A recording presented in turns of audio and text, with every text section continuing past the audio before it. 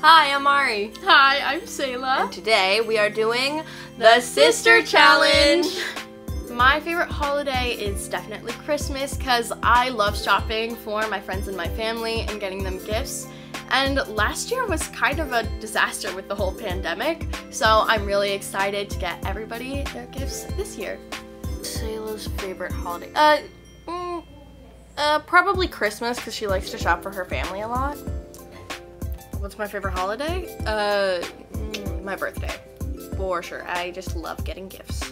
My sister's favorite holiday would probably be her birthday because she loves presents and she loves being the center of attention. So